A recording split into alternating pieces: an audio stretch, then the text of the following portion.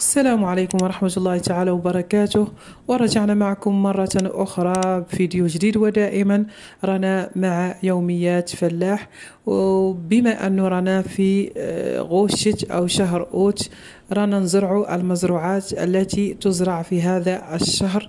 اليوم راح نزرع الخس اللي هو الشلاطة. وهذه البذور اللي استعملتها آه، اليوم وهي آه، خس الصيف أو الخس الذي يتحمل الحرارة لأنه مازال الجو عندنا حار لذلك استعملت هذا الخس هنا عندي السريحة هذه قمت بحرثها أو تقليبها ومن بعدين راح نحط لها السماد. هنا عندي هذا السماد صناعي. آه، راح نثرو في الأرض بعدين نقلبه تقليب خفيف. وأنا مع التجارب نتاعي لزراعة الخس فضلت أني نزرعه بهذا السماد الصناعي لأنه يعطي إنتاج أفضل أو أكثر من المزروع بالسماد العضوي وكذلك هذا السماد ما ينبتش لنا في الأرض الحشائش الضارة اللي آه، تضيق على الخس وكذلك تمتص له المواد الغذائية اللي في التربة.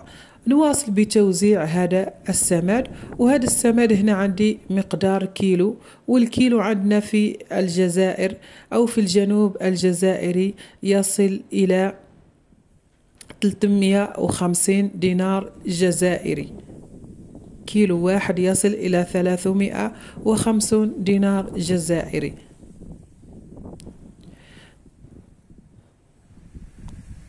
هنا بعد اللي انهيت من توزيع آه، السماد آه، راح نقلب هذا السماد في الأرض تقليب خفيف بحيث آه، تدخل لنا البذور الخس وتدفن. نواصل بهذه الطريقة حتى نكمل هاد السريحة اللي راهي عندي.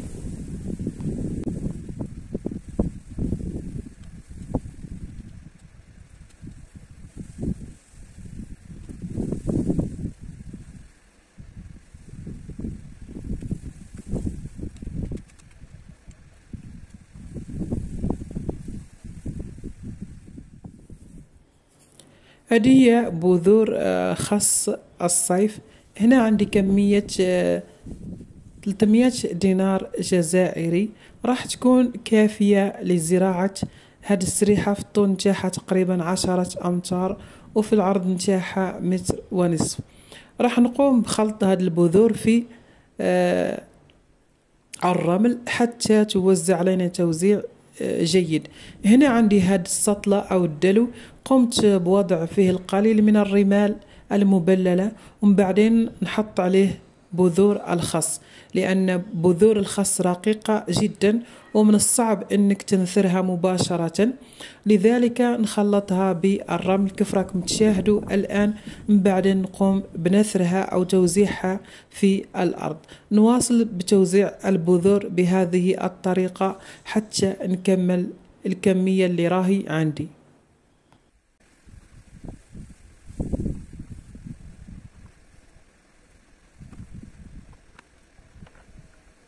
هنا بعد اللي أنهيت من آه، آه، نثر البذور في الأرض نقوم بدفن هذه البذور باستعمال الراتو.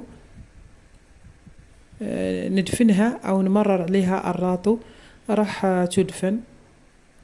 ونحاول في نفس الوقت تسوية السريحة حتى يدخل لنا الماء بشكل متوازن وتنبت لنا البذور نبات موحد. نواصل بهذه الطريقة حتى نكمل هذه السريحة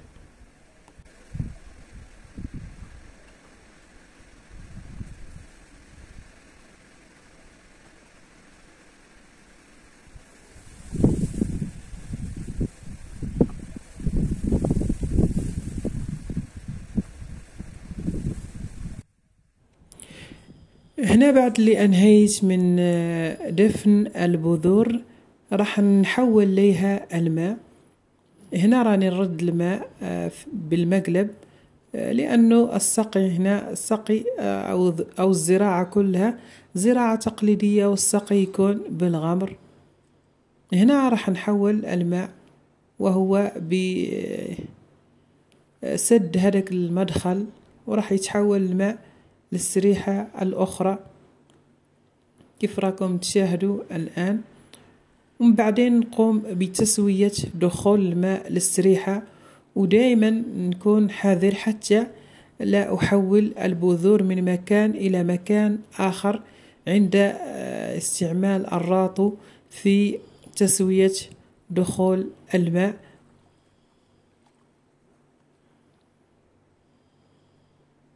آه، دائما نحاول آه، ما نسحبش التراب كلها حتى تبقى البذور في مكانها ما تنتقل أو تتجمع لنا في مكان واحد.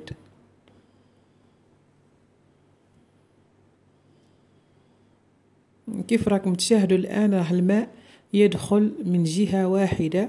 لأنه أصبحت الجهة الأخرى مرتفعة قليلا. راح نحاول نسحب الرمل بدون ما تسحبش معي البذور كلها. نحاول نعدلها بهذا الشكل بشكل خفيف جدا. نواصل بهذه الطريقة حتى نكمل السريحة اللي راهي عندي ولازم يكون فيها الماء آه، موحد وعلى استواء واحد حتى تنبت لنا البذور في يوم واحد ويكون نباتها موحد.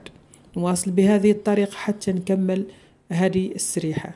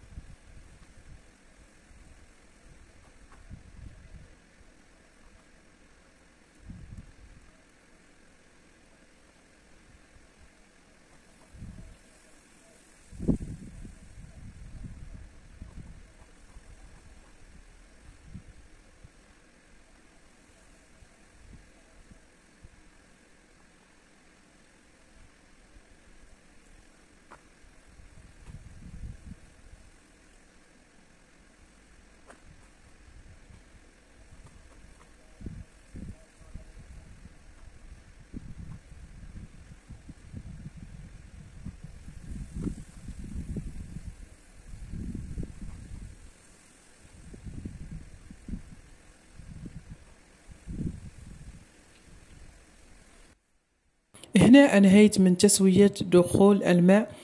راكم تشاهدوا فيها الماء آه على استواء واحد آه لازم يكون بهذا الشكل. وطبعا راح نرشوا هذا المكان بالمبيد يوم بعد يوم حتى نقضوا على الحشرات التي تأكل هذه المزروعات آه، الحديثة النمو. إن شاء الله ينال إعجابكم هذا الفيديو وتستفيدوا منه. والسلام عليكم ورحمة الله تعالى وبركاته.